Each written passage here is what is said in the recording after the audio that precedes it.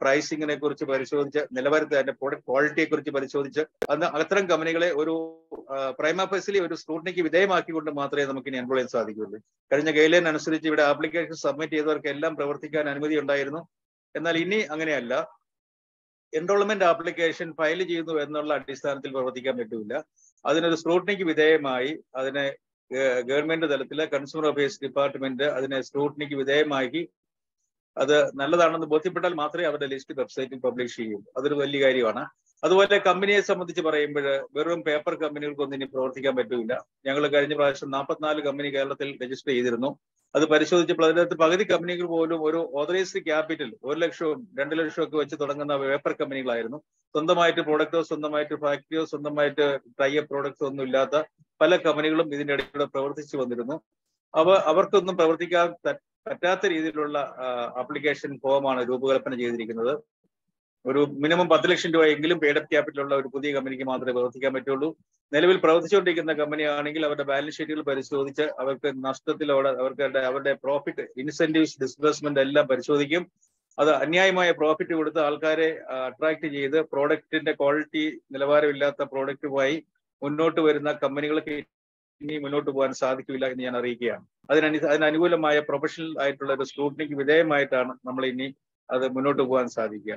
അതുപോലെ നേരത്തെ നമ്മുടെ നിരീക്ഷണ സമിതിയിൽ നമ്മുടെ ടാക്സസ് ഡിപ്പാർട്ട്മെന്റും ലീഗ നിയമ നിയമ ഡിപ്പാർട്ട്മെന്റും ധനകാര്യ ഡിപ്പാർട്ട്മെന്റും കൺസ്യൂമർ അഫയേഴ്സ് ഡിപ്പാർട്ട്മെന്റും ഒക്കെ ആയിരുന്നെങ്കിൽ ഇപ്പൊ അഡീഷണൽ ആയിട്ട് ഒന്ന് രണ്ട് ഡിപ്പാർട്ട്മെന്റ് കൂട്ടിച്ചേർത്തിട്ടുണ്ട്? ഒന്ന് ലീഗൽ മെട്രോളജി നമുക്കറിയാം ലീഗൽ മെട്രോളജി എന്ന പാക്ഡ് കമ്മോഡിറ്റീസിന്റെ നിലവാരങ്ങൾ പാക്കിംഗ് ലേബലിംഗ് പ്രോഡക്റ്റിന്റെ ക്വാളിറ്റിയെ കുറിച്ചെല്ലാം പരിശോധിക്കാനായിട്ട് ലീഗൽ മെട്രോളജി വിഭാഗം കൂടെ ഈ മോണിറ്ററിംഗ് മെക്കാനിസത്തിൽ അംഗമായിട്ട് വരുതാൻ പോവുകയാണ്.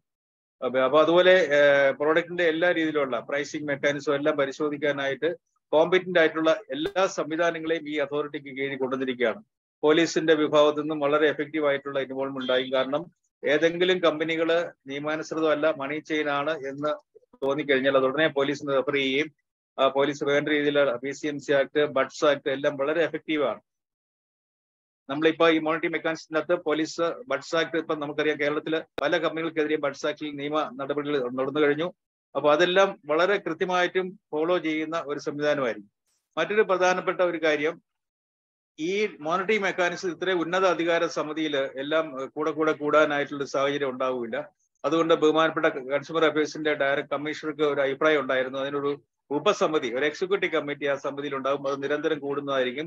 ആ സമിതിയിൽ ചെയർമാൻ കൺസ്യൂമർ അഫയേഴ്സിന്റെ സെക്രട്ടറി ആയിരിക്കും.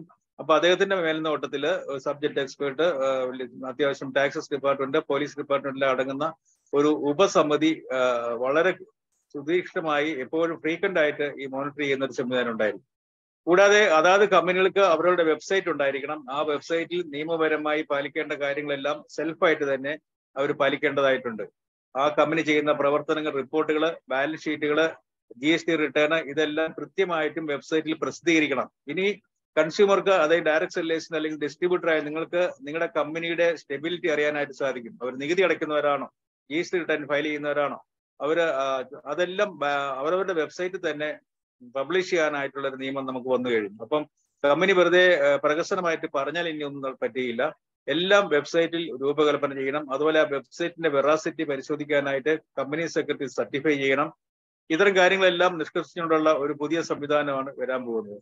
ഇപ്പൊ ചുരുക്കി പറഞ്ഞു കഴിഞ്ഞാൽ പ്രോഡക്റ്റ് ഇപ്പൊ ഇതുവരെ നമ്മൾ പ്ലാൻ വിൽക്കുന്ന കമ്പനികളുണ്ടെങ്കിൽ അതെല്ലാം ഇനി നടക്കുന്ന കാര്യമല്ല. പ്ലാൻ അല്ല പ്രോഡക്റ്റ് ആണ് വിൽക്കേണ്ടത്.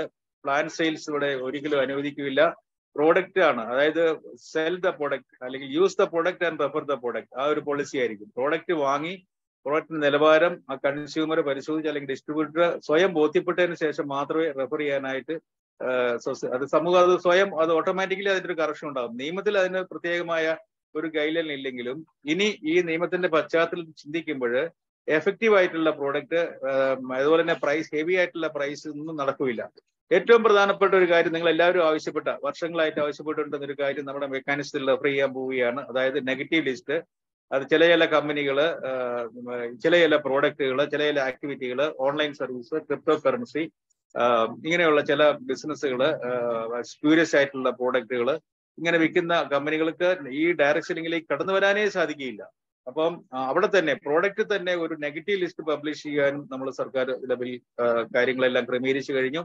അപ്പോൾ എല്ലാവർക്കും എന്തെങ്കിലും തുടങ്ങാമെന്നുള്ള വാചേനെ നമുക്ക് ഇനി ഈ ബിസിനസിനെ മുന്നോട്ട് കൊണ്ടുപോകാൻ പറ്റില്ല. അപ്പൊ ശരിക്കും പറഞ്ഞാൽ ഇവിടെ ഡയറക്ട് സെല്ലേഴ്സ് ഒരു മൂന്ന് ലക്ഷം തൊട്ട് അഞ്ച് ലക്ഷം വരെ ആൾക്കാർ ഈ സംവിധാനത്തിൽ ഉണ്ടായിരുന്നു നമുക്കറിയാം. കേരളത്തിൽ എന്നാൽ ഇപ്പൊ പലരും അറച്ചു നീക്കുകയാണ് എല്ലാ കമ്പനികളും ജെനുവിൻ ആണോ എന്ന് പലർക്കും സംശയമുണ്ട്. ഇനി ഏതെങ്കിലും തരത്തിൽ എന്തെങ്കിലും കാര്യത്തിൽ കഴിഞ്ഞ നിയമത്തിന് മുമ്പിൽ പോരായ്മകൾ ഉണ്ടെങ്കിൽ ആ പോരായ്മകൾ പരിഹരിച്ചുകൊണ്ട് ഈ കമ്പനികൾക്ക് മുന്നോട്ട് വന്ന് നമ്മുടെ ഈ ഇൻഡസ്ട്രിയെ എഫക്റ്റീവ് ആക്കാം എന്നും കൂടി പറയുകയാണ്. കാരണം നിയമം ഇല്ലാത്ത സമയത്ത് പ്രവർത്തിച്ചപ്പോൾ പല അപര്യാപ്തികളും ലിമിറ്റേഷൻ ഉണ്ടായിരുന്നുവെങ്കിൽ അതെല്ലാം പുതിയ നിയമത്തിന്റെ വ്യാഖ്യാനം അനുസരിച്ച് അതിനെ കറക്റ്റ് ചെയ്തുകൊണ്ട് കമ്പനികൾക്ക് മുന്നോട്ട് വരാനും സാധിക്കും. അപ്പൊ ഇത് ഒരു മാസത്തിനുള്ളിൽ ഈ മെക്കാനിസം ഇവിടെ ഇവോൾവ് ചെയ്യും. ഇത് ഇവിടെ കേരളത്തിൽ ലോഞ്ച് ചെയ്ത ഉടൻ തന്നെ മറ്റെല്ലാ സംസ്ഥാനത്തും ഇത് രൂപം പ്രാപിക്കും അങ്ങനെ ഇന്ത്യയിലെ ആകമാനം നമുക്ക് ഒരു പുതിയ വഴിത്താരയിലേക്ക് ഈ ബിസിനസ്സിനെ ഉൾക്കൊള്ളാൻ സാധിക്കും. ധൈര്യമായിട്ട് ലെജിറ്റിമേറ്റ് ആയിട്ടുള്ള ബിസിനസ്സിന് മാത്രം പ്രവർത്തിക്കാൻ പറ്റുന്ന ഒരു സാഹചര്യം ഒരുങ്ങിയാണ് അപ്പൊ അതിലേക്ക് നമുക്ക് പ്രതീക്ഷിക്കാം. അതിന് യാതൊരു കാലതാമസം ഉണ്ടാവില്ല എന്ന് ഞാൻ പറയുകയാണ്. എല്ലാം റെഡിയാണ് ബഡ്ജറ്റ് സമ്മേളനം കഴിഞ്ഞാൽ ഉടൻ തന്നെ അത് സർക്കാർ ഔദ്യോഗികമായി ലോഞ്ച് ഉണ്ടാകും. അത് നിങ്ങളെ എല്ലാവരും അതിൽ ആ ലോഞ്ചിലേക്ക് ക്ഷണിക്കുന്നു. എല്ലാവരും അതിൽ വന്ന് പങ്കെടുക്കുകയും നമ്മൾ ഈ കേരളത്തിലെ ഒരു മുഖച്ഛായ മാറ്റുന്ന രീതിയിൽ നമുക്കറിയാം തൊഴിലില്ലായ്മ വളരെ ഗൗരവമായി മുന്നോട്ട് പോകുന്ന ഈ സമയത്ത് നമ്മുടെ ചെറുപ്പക്കാരെല്ലാം അന്യരാജ്യത്തേക്ക് ചേക്കേറുന്ന ഈ സമയത്ത് ഇവിടെ പ്രവർത്തിക്കാൻ പറ്റുന്ന ഒരു നല്ല ബിസിനസ് ഒരു ഓപ്പർച്യൂണിറ്റി ഗവൺമെന്റ് തലത്തിൽ ഉണ്ടാകുമ്പോൾ തീർച്ചയായിട്ടും കുറെയെങ്കിലും ചെറുപ്പക്കാർ ഇവിടെ നിൽക്കുകയും ഈ ബിസിനസിന്റെ ഭാഗമായിട്ട് മാറുകയും ചെയ്യുമെന്ന് നമുക്കറിയാം. അപ്പൊ ഈ സാഹചര്യത്തിലെ നന്മ പോലെയുള്ള ഐ എൻ സി പോലെയുള്ള എല്ലാ സംഘടനക്കാരോടും നമ്മൾ ആവശ്യപ്പെട്ടിട്ടുണ്ട്. ബോധവൽക്കരണം വളരെ ആവശ്യമാണ്.